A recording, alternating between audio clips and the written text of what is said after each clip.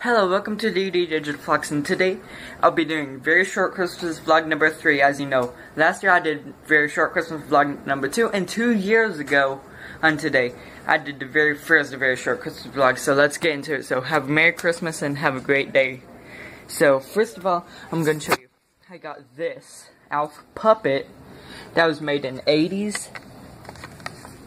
See, you could see right there, um, if I could get it to focus. Uh, so, oh well, you could kind of see it on it, 19, okay, 1988. This Elf puppet. See.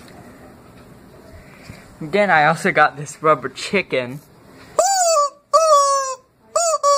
Then, as you know, I already got this last year, but it broke. But this year I got this also. So I got this last year, but